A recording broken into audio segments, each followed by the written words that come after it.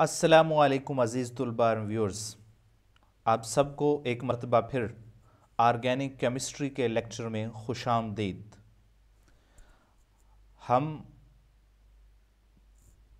पहले organic chemistry के हवाले से जो बात कर रहे थे, वो एरोमेटिक इलेक्ट्रोफिलिक सब्सिट्यूशन रिएक्शन थे।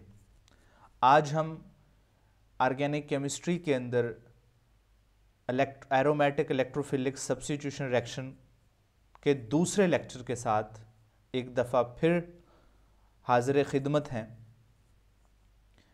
आज हम एरोमेटिक इलेक्ट्रोफिलिक सब्सिट्यूशन रिएक्शंस के अंदर फ्रीडल क्राफ्ट रिएक्शन सल्फोनेशन और orientation and reactivity of mono substituted aromatic compounds के हवाले से बात करेंगे।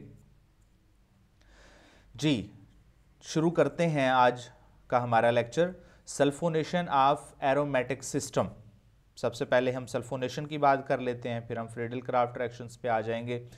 जी सल्फोनेशन के बारे में आप सारे ही जानते हैं। ऐसे तमाम वो तलबा जो एम एस सी केमिस्ट्री के स्टूडेंट्स हों या फिर बी एस सिक्स सेमेस्टर के या फिफ्थ सेमेस्टर के या सेवन सेमेस्टर के स्टूडेंट हो वो सारे ही जानते हैं कि ये रिएक्शंस ऑलरेडी आप सेकंड uh, सेमेस्टर के अंदर और फिफ्थ सेमेस्टर के अंदर पढ़ चुके होते हैं। हमने थोड़ा सा इसको एडवांस uh, अंदाज में देखना होता है हायर क्लासेस के अंदर हायर सेमेस्टर्स के अंदर जैसे कि आप सिक्स सेमेस्टर में हैं तो हम इसकी थोड़ी थोड़ी मॉडिफिकेशंस और कुछ और एरोमेटिक कंपाउंड्स डिस्कस करेंगे क्योंकि अभी तक आप सिर्फ़ और सिर्फ़ बेंजीन के हवाले से एरोमेटिक सब्सिट्यूशन रिएक्शन को देखते आ रहे हैं। आज हम एरोमेटिक कंपाउंड से डिस्कस करेंगे लेकिन बेंजीन के अलावा और भी कुछ डिस्कस करेंगे। जी Uh, सबसे पहले हम बेंजीन से ही बात शुरू कर लेते हैं। बेंजीन के हवाले से अगर बात करें तो बेंजीन की अगर सल्फोनेशन करवाई जाए तो इसकी दो कंडीशंस हैं, या तो इसको ओलियम हम देते हैं, उसकी मौजूदगी में हम सल्फोनेशन करवाते हैं। ओलियम क्या है? That is a mixture of sulphur trioxide and sulphuric acid sulphur trioxide gas होती है, इसको हम कंबाइन ओलियम भी कहते हैं। और दूसरा है कंसनट्रेटेड सल्फ्यूरिक एसिड जस्ट इस्तेमाल करना है हमने तो उसमें भी सल्फोनेशन हो जाती है। जो ओलियम है, इसके अंदर जो टम्परेचर की कंडीशन होती हैं, वो तकरीबन रूम टम्परेचर ही होता है, या इससे भी कम होता है। सल्फ्यूरिक एसिड जब इस्तेमाल करेंगे कंसनट्रेटेड तो उसके लिए हमें 60 टू 80 सेल्सियस तक टम्परेचर रिक्वायर्ड होता है। और सल्फोनेशन एक बात याद रखिएगा, यहाँ पे तो सिर्फ़ सिंगल हेडेड एरो है, लेकिन ये रिवर्सिबल रिएक्शन भी होता है। सल्फोनेशन ख़ासकर कंसनट्रेटेड सल्फ्यूरिक एसिड की मौजूदगी में ये रिएक्शन ज़्यादा रिवर्सिबल होता है। क्यों होता है, ये हम आगे डिस्कस करेंगे। सबसे पहले देख लेते हैं जी मैकेनिज़्म के हवाले से। मैकेनिज़्म में पहले एक नज़र आप सारे सिर्फ़ एरोज़ पे दौड़ा दें कि मैकेनिज़्म में तमाम के तमाम एरोज़ रिवर्सिबल हैं। तो मैकेनिज़्म के रिवर्सिबल एरो शो करते हैं कि सल्फोनेशन प्रोसेस जो है, वो रिवर्सिबल प्रोसेस भी होता है। ठीक है जी? सल्फोनेशन के अंदर क्या होता है? कि हमने सेकंड कंडीशन के साथ ये मैकेनिज्म शो किया है, जिसमें हम कंसनट्रेटेड सल्फ्यूरिक एसिड इस्तेमाल करेंगे। सल्फ्यूरिक एसिड सल्फ्यूरिक एसिड के साथ पहले रिएक्शन करता है। Sulphur trioxide as a electrophile generate होता है हाइड्रोनियम आइन जनरेट होता है और बाईसल्फेट एज ए बेस के तौर पे यहाँ पे काम करेगा। जी सेकंड स्टेप स्लो स्टेप है, जिसके अंदर एरोमेटिक सिस्टम का पाई बॉन्ड जो है, वो सल्फ़र ट्राईऑक्साइड के सल्फ़र पे अटैक करता है और सिग्मा कम्प्लेक्स बनता है। स्लो स्टेप है, इस वजह से ये रेट डिटर्मिनिंग स्टेप बी होता है। ठीक है जी? थर्ड स्टेप के अंदर सिग्मा कम्प्लेक्स को दोबारा अपना एरोमेटिक करेक्टर चाहिए तो बाई सल्फेट जो यहाँ पे जनरेट हुआ था एज ए बेस का काम करेगा और ये हेल्प करेगा सिग्मा कम्प्लेक्स की कि दोबारा बेंजीन को उसका एरोमेटिक करेक्टर वापस कर दिया जाए। तो बाई सल्फेट आइन जो है, ये प्रोटॉन को अब्स्ट्रैक्ट कर लेगा और एरोमेटिक सिस्टम दोबारा रिकवर हो जाएगा। ठीक है जी? और फोर्थ स्टेप के अंदर जो ऑक्सीजन के ऊपर सल्फेट आइन जो था सल्फोनिक ग्रुप भी कह सकते हैं इसको। तो ये जो सल्फोनिक ग्रुप है, इस ऑक्सीजन के नेगेटिव चार्ज को न्यूट्रलाइज करना है तो यहाँ सल्फ्यूरिक एसिड से भी प्रोटॉन ले सकता है, क्योंकि ये बेस है, सल्फ्यूरिक एसिड एसिड है। दूसरा ये है कि हाइड्रोनियम आइन भी कहीं कहीं जगह पे लिखा हुआ है मैकेनिज्म के अंदर कि हाइड्रोनियम आइन अपना प्रोटॉन दे दे इसको और यहाँ से वाटर जो है वो इलिमिनेट हो जाए। अच्छा जी बेंजीन से बेंजीन सल्फोनिक एसिड का बनना सल्फोनेशन कहलाएगा और बेंजीन सल्फोनिक एसिड से बेंजीन का बनना डी सल्फोनेशन कहलाएगा। तो रेट ऑफ़ सल्फोनेशन और रेट ऑफ़ डी सल्फोनेशन दोनों ही तकरीबन बराबर होते हैं। अगर आप इसके हवाले से एनर्जी प्रोफ़ाइल डायग्राम देखें तो एनर्जी प्रोफ़ाइल डायग्राम के अंदर रिएक्टेंट की एनर्जी और बेंजीन सल्फोनिक एसिड की एनर्जी तकरीबन जो है, वो बराबर होती है। लेकिन अगर आप इसका फॉरवर्ड रिएक्शन देखेंगे बेंजीन जो है, जब सल सल्फ्यूरिक एसिड के साथ रिएक्शन करता है तो फ़र्स्ट ट्रांजिशन स्टेट बनाता है, फिर इसके बाद इंटरमीडिएट बनता है, फिर सेकंड ट्रांजिशन स्टेट यहाँ पे बनेगी और फिर बेंजीन सल्फोनिक एसिड बन जाएगा।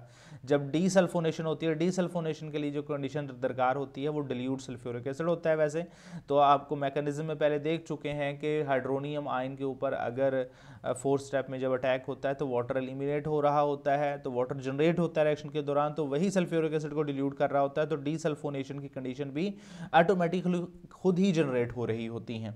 तो जिसकी वजह से डी सल्फोनेशन भी हो रही होती है, यानी बेंजीन सल्फोनिक एसिड से दोबारा बेंजीन का बनना। अगर आप रिवर्स देखें तो डी सल्फोनेशन को कंपेरेटिवली थोड़ा सा फास्ट होना चाहिए, क्योंकि इसकी फ़र्स्ट ट्रांजिशन जो स्टेट है, उसकी एनर्जी कम है एज़ कंपेयर टू सेकंड के। ठीक है जी? तो इस वजह से सल्फोनेशन जो है, वो रिवर्सिबल प्रोसेस भी है। ठीक है जी? अच्छा जी नेक्स्ट हमने बेंजीन के हवाले से बात देख ली। अब हम थोड़ा सा इसको नफ्तलीन के हवाले से देखेंगे। नफ्तलीन के हवाले से हम हमने लास्ट लेक्चर में भी बताया था इलेक्ट्रोफिलिक सब्सिट्यूशन रिएक्शंस के अंदर, कि नफ्तलीन जो है वो सल्फ्यूरिक एसिड के साथ अगर 80 सेल्सियस पे रिएक्शन करेगी तो नफ्तलीन के वन पोजीशन पे सल्फोनेशन होगी। और अगर 165 सेल्सियस पे रिएक्शन हो तो टू पोजीशन पे, यानी बीटा पोजीशन पे सल्फोनेशन होती है। अगर बीटा पोजीशन पे सल्फोनेशन होती है तो ये थर्मोडाइनमिकली स्टेबल प्रोडक्ट बनेगी और 80 सेल्सियस पे जो अल्फ़ा पोजीशन पे सल्फोनेशन हो रही है तो ये काइनेटिकली स्टेबल प्रोडक्ट है और काइनेटिकली स्टेबल प्रोडक्ट जो है वो ज़्यादा देर तक स्टेबल नहीं रहती है दोबारा हीट किया जाए इसको अगर इसी प्रोडक्ट को तो हाई टेम्परेचर पे तो ये दोबारा रिवर्स होके बीटा पोजीशन पे सल्फोनेशन हो जाती है। इसी तरह एंथ्रासिन की सल्फोनेशन करवाएँ तो एंथ्रासिन के अंदर वन पोजीशन पे भी सल्फोनेशन हो सकती है और इसमें टू पोजीशन पे भी होती है। एंथ्रासिन में ये केस कंपैरेटिवली थोड़ा सा डिफरेंट है। वो क्यों डिफरेंट है? क्योंकि एंथ्रासिन के अंदर हमने पहले भी बताया था कि नाइन और टेन पोजीशन ज़्यादा रिएक्टिव होती हैं। बाकी जितने भी फ्रीडल क्राफ्ट रिएक्शंस हैं सॉरी जितने भी इलेक्ट्रोफिलिक सब्सिट्यूशन रिएक्शन हैं वो एंथ्रासिन के अंदर, वो प्रेफरेबली नाइन और टेन पोजीशन पे होते हैं। लेकिन सल्फोनेशन एक ऐसा प्रोसेस है जो कि वन पोजीशन पे होता है और टू पोजीशन पे होता है। इसको हम एक नज़र में देखेंगे कि अगर आप इसकी हेलोजिनेशन देखें तो नाइन पोजीशन पे हो रही है।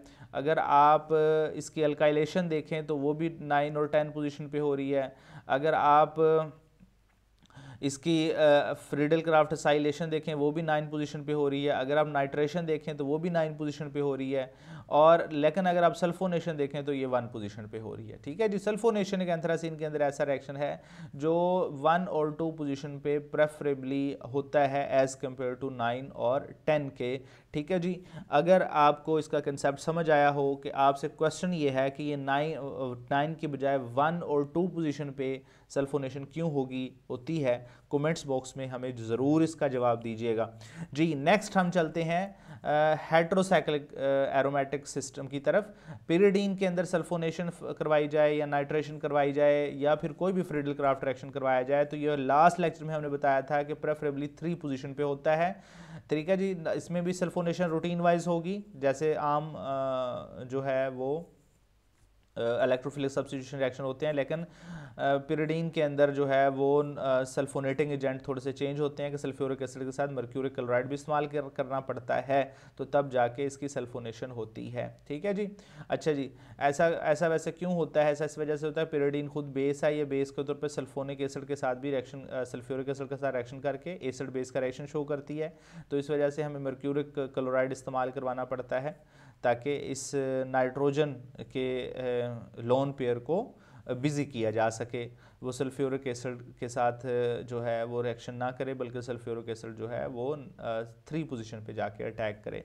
इसी तरह फिर पायरोल है पायरोल भी के अंदर भी जो है वो जब सल्फोनेशन करवानी होती है तो उसमें कंडीशन थोड़ी सी चेंज है कि सल्फ़र ट्राईऑक्साइड के साथ पिरीडीन या इथाइलिन क्लोराइड इस्तेमाल करते हैं, ठीक है जी? वो इसमें इस वजह से भी करते हैं कि पायरोल के अंदर जो नाइट्रोजन है, ये एरोमेटिक का हिस्सा तो है ही है लेकिन ये अपनी बेसिसिटी भी शो करेगा। तो इस बेसिसिटी को रोकने के लिए हमें कंडीशन थोड़ी सी वैरी करनी पड़ती हैं। लेकिन सल्फोनेशन एज यूजल दूसरे इलेक्ट्रोफिलिक सब्सिट्यूशन रिएक्शन की तरह फाइव मेंबर रिंग के अंदर वो टू पोजीशन पे होगा। चाहे वो पायरोल हो, चाहे वो थायोफिन हो, चाहे वो फ्यूरेन हो। ठीक है जी? चंद मखणों समझ आ गई कि कोई ना? आ गई समझ? चलो, ठीक हो गया।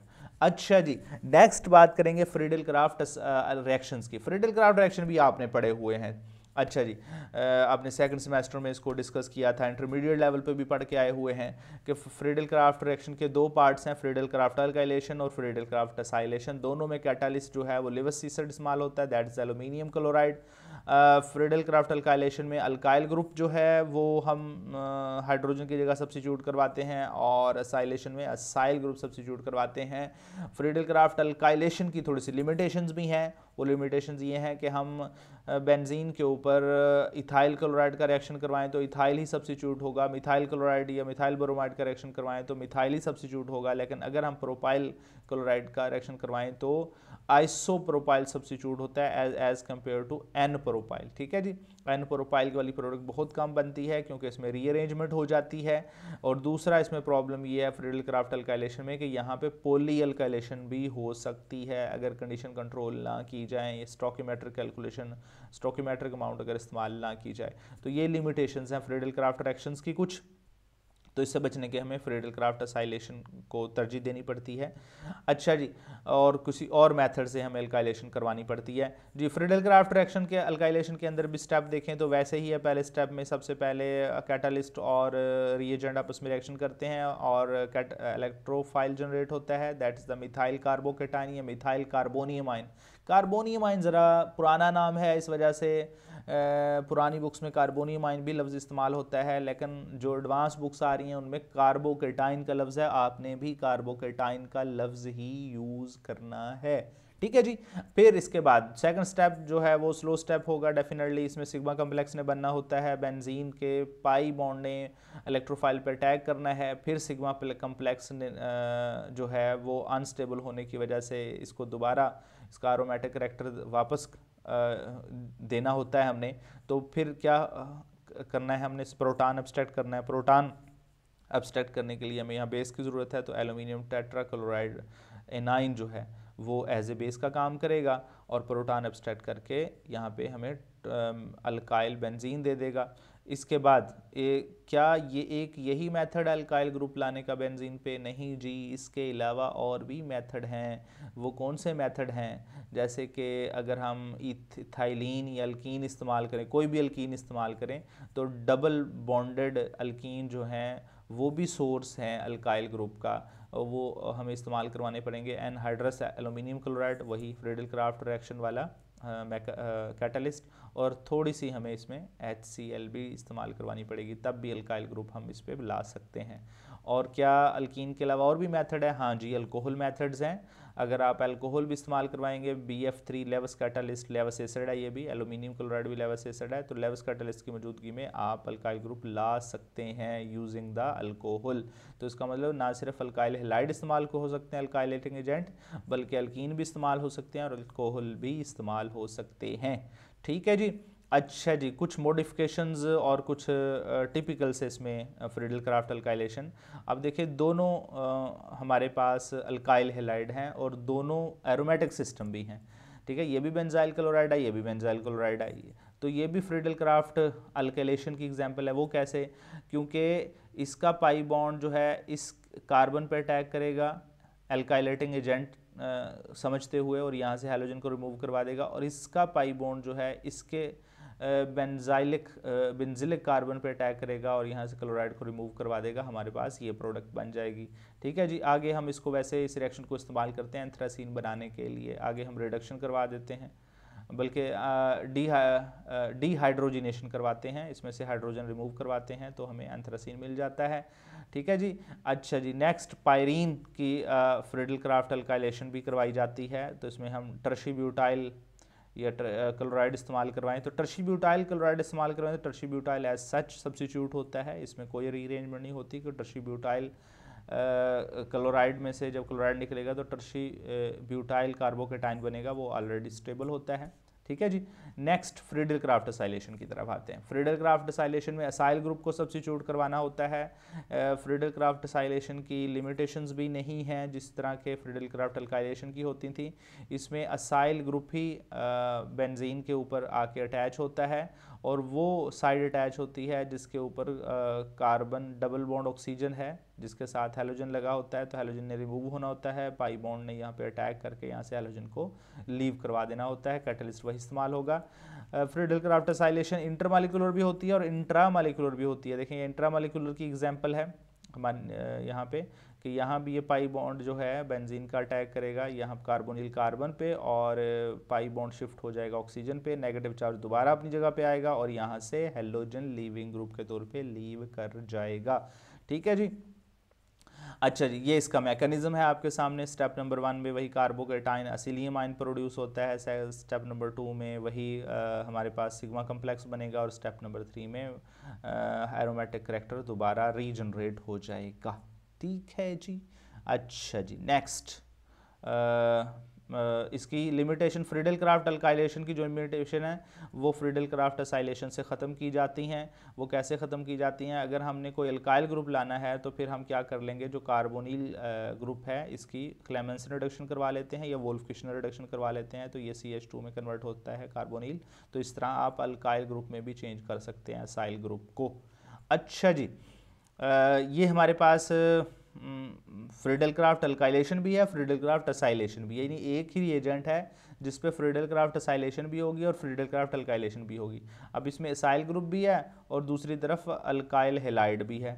अगर एलुमिनियम क्लोराइड इस्तेमाल करवाएँगे तो एक दफ़ा फ्रीडल क्राफ्ट असाइलेशन होगी और दूसरी तरफ़ जब साइलेशन हो जाएगी तो फिर दूसरी दफ़ा इस पर एरोमेटिक सिस्टम इस कार्बन पर अटैक करेगा हेलोजन को रिमूव करवा देगा और यहाँ पे साइकिलाइजेशन प्रोसेस हो जाएगा। ठीक है? इसलिए ऐसे रिएजेंट भी होते हैं जिस रिएजेंट पे एक ही वक्त में फ्रिडल क्राफ्ट असाइलेशन भी होती है और उसी के अंदर फ्रिडल क्राफ्ट अल्काइलेशन भी हो रही होती है।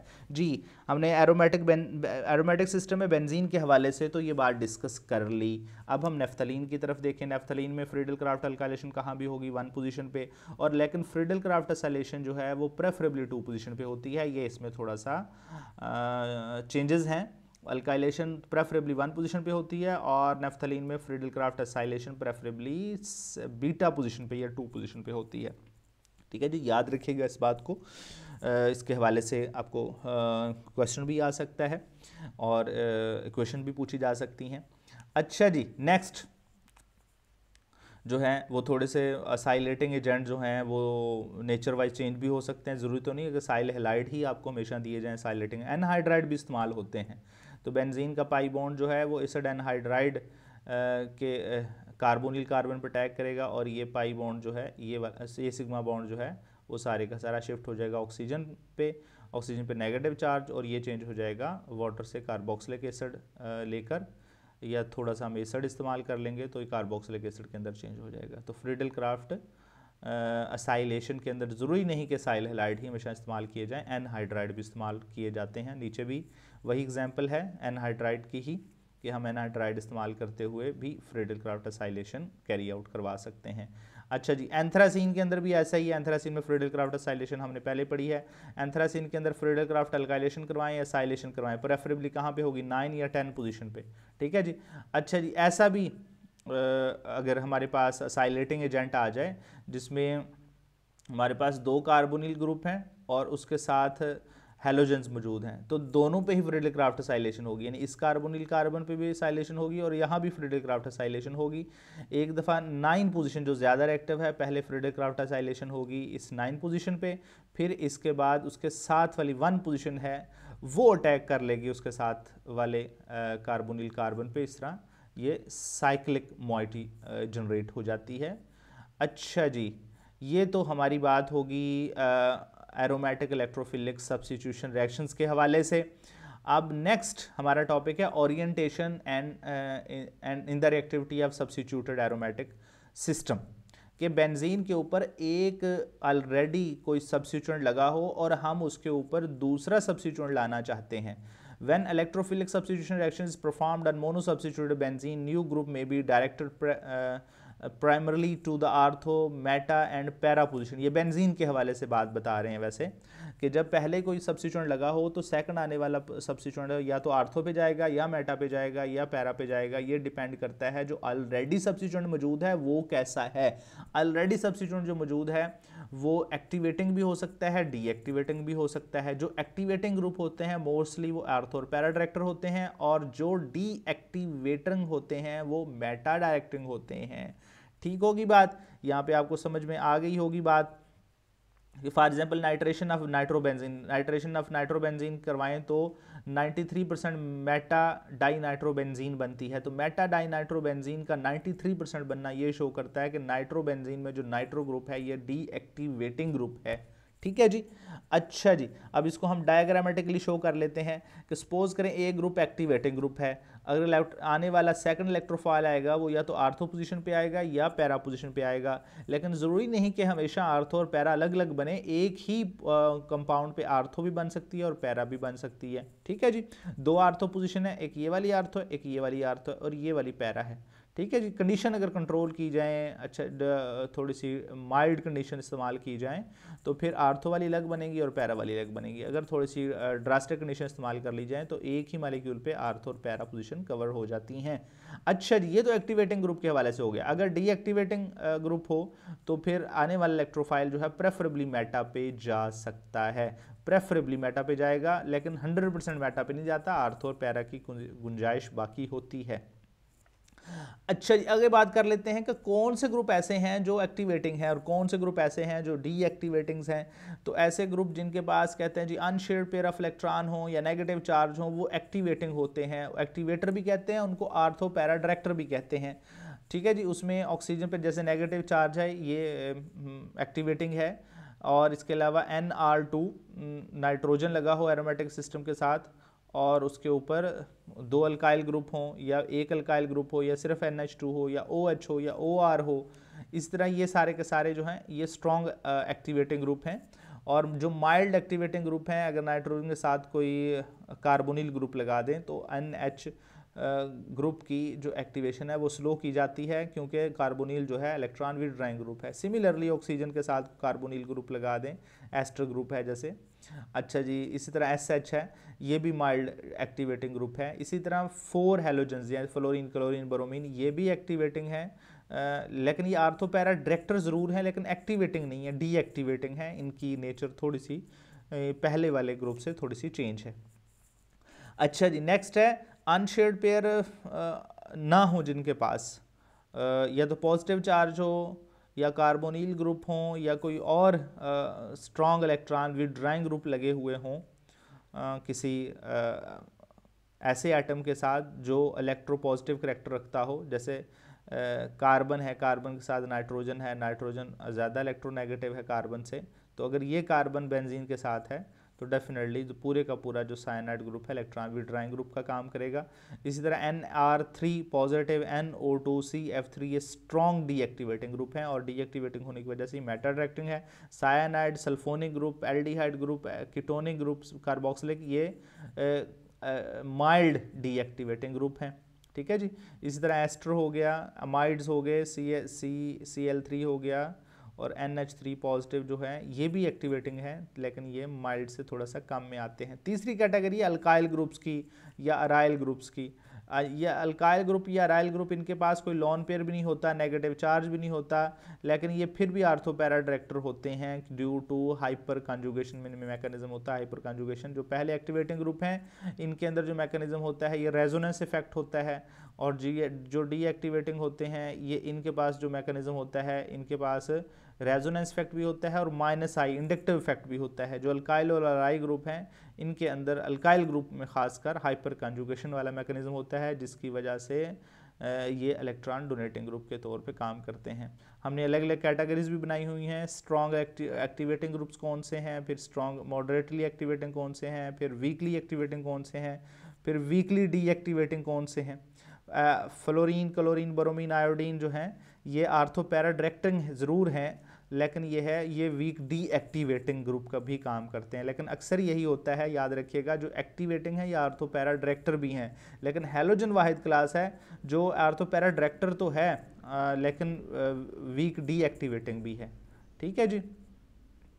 समझ में आ गई बात? जी। अब नेक्स्ट क्वेश्चन है कि why electron donating groups are ortho and para directing but electron withdrawing group is meta directing groups आप को अगर इस एग्ज़ाम्पल को समझना है तो हम इसको दो अंदाज में देखेंगे। सपोज़ करें जो जी ग्रुप लगा हुआ है तीनों एग्जाम्पल्स के अंदर, इसको थोड़ी देर के लिए फ़र्ज़ कर लें, ये इलेक्ट्रॉन डोनेटिंग ग्रुप है। यहाँ भी ये जी जो है इलेक्ट्रॉन डोनेटिंग है, ये जी इलेक्ट्रॉन डोनेटिंग है और जी इलेक्ट्रॉन डोनेटिंग है। और वाई को सपोज़ कर लें, ये आने वाला इलेक्ट्रोफाइल सेकंड इलेक्ट्रोफाइल है। एक दफ़ा हम इलेक्ट्रोफाइल को वाई पोजीशन पे लेके आए, एक दफ़ा वाई को मेटा पे लेके आए, एक दफ़ा वाई को आप पैरा पे लेके आए, लेकिन जी को अपने इलेक्ट्रॉन डोनेटिंग ग्रुप समझना है। अच्छा जी, जब वाई आर्थो पे आएगा तो तीन रेजोनेटिंग स्ट्रक्चर बनेगी। जब मेटा पे आएगा, तब भी तीन रेजोनेटिंग स्ट्रक्चर बन रही हैं, और जब पैरा पे आएगा, तब भी तीन रेजोनेटिंग स्ट्रक्चर बन रही हैं। आर्थो में ए वाली स्ट्रक्चर देखें, यहाँ पे ए वाली, जिसके ऊपर पॉजिटिव चार्ज उस कार्बन पे है, जिस कार्बन पे इलेक्ट्रॉन डोनेटिंग ग्रुप लगा हुआ है, और पैरा पोजीशन पे ये वाली स्ट्रक्चर जिसके नीचे बी लिखा हुआ है, ये ऐसी स्ट्रक्चर है जिसमें पॉजिटिव चार्ज उस कार्बन पे आ रहा है, जिस पे इलेक्ट्रॉन डोनेटिंग ग्रुप लगा हुआ है। लेकिन मेटा पोजीशन पे पॉजिटिव चार्ज उस कार्बन पे जा ही नहीं रहा, जहाँ पे इलेक्ट्रॉन डोनेटिंग ग्रुप लगा हुआ है। तो ए और यहाँ पे बी वाली स्ट्रक्चर जो है मोस्ट स्टेबल कंट्रीब्यूटिंग स्ट्रक्चर है। क्यों है? क्योंकि पॉजिटिव चार्ज को इलेक्ट्रॉन डोनेटिंग ग्रुप स्टेबलाइज कर देते हैं। इसका मतलब यहाँ पे ये वाली का रेजोनेटिंग स्ट्रक्चर और पैरा पे अटैक की वजह से ये वाली जो कंट्रीब्यूटिंग स्ट्रक्चर है या रेजोनेटिंग स्ट्रक्चर है, ये मोस्ट स्टेबल रेजोनेटिंग स्ट्रक्चर है। मेटा में कोई ऐसी रेजोनेटिंग स्ट्रक्चर नहीं बन रही। तो इसी वजह से अगर इलेक्ट्रॉन डोनेटिंग ग्रुप लगा हो जी की जगह पे तो आने वाला इलेक्ट्रोफाइल प्रेफरेबली आर्थो पोजीशन पे आएगा या फिर पैरा पोजीशन पे आएगा। कंसेप्ट क्लियर जी उम्मीद है आपको ये बात समझ में आ गई होगी।